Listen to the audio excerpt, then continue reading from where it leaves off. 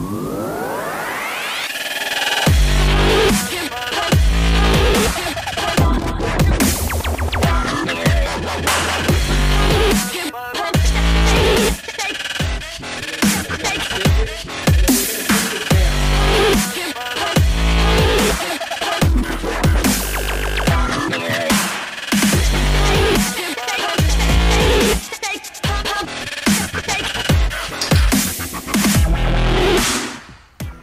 Hey, what's up guys? It's Mo the dog trainer.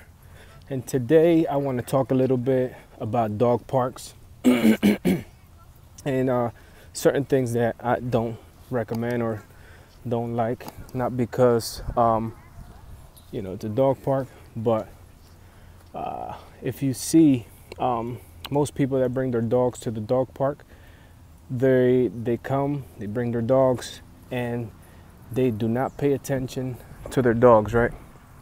They they uh, bring the dogs in uh, and they just let them loose. They let them run. Uh, although there's nothing wrong with that when you're bring your dog to the dog park and you're letting them run loose. But the thing about it is that you gotta watch your dog, especially if it's the first time that your dog comes to the park, right? He's he never met another dog. You come, let them loose in the park and then here comes that dog that bullies the other dogs right and starts bullying your dog. Now your dog becomes a little fearful because he's being bullied and what most dog owners are doing they're either chatting or on their phones right? They're not paying attention to their dogs. The dog is getting bullied and they're not paying attention to what's going on to the dog. So the dog is becoming uh, fearful of uh, other dogs because the owner's not paying attention. They're not interrupting these behaviors that the other dogs are doing to your to you know to your it could be your dog to my dog. Um, so one of the things there's a couple things that I don't like about dog parks.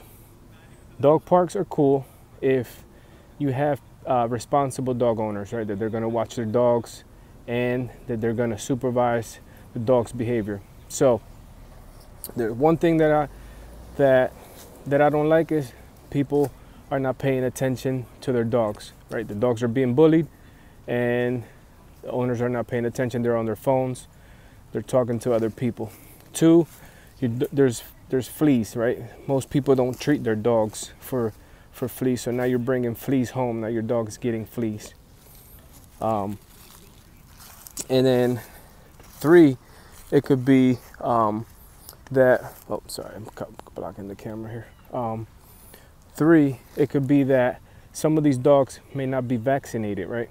Um, I'm not like all vaccination guy, but I, I, do require dogs to have certain types of vaccinations. Um, so there's some dogs that might not be vaccinated. Some of dogs could be sick.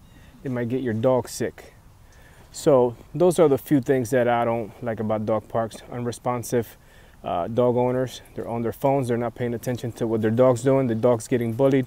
And then they come home and now their dogs are reacting to other dogs because they're they got bullied at the park, right? It's like kids being bullied.